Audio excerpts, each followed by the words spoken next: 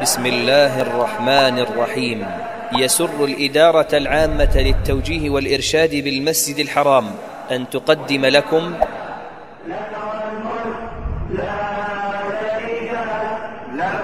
وذلك أنه عليه الصلاة والسلام في يوم الثامن من ذي الحجة وهو المعروف بيوم التروية. وقد سمي هذا اليوم يوم التروية لأن الحجاج يتروون فيه الماء ويستقون فيه الماء ليحملوه معهم إلى عرفة ثم إلى مزدلفة. واليوم الثامن في الحقيقة هو أول أيام الحج.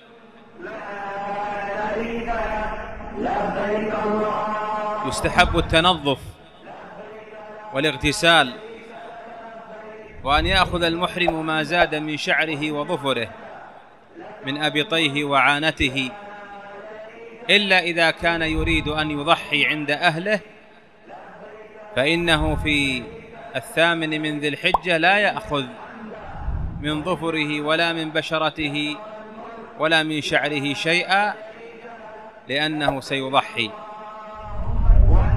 يسن التوجه يوم الثامن إلى منى قبل الزوال أو بعده من يوم التروية. ونكثر من التلبية إلى أن نرمي جمرة العقبة.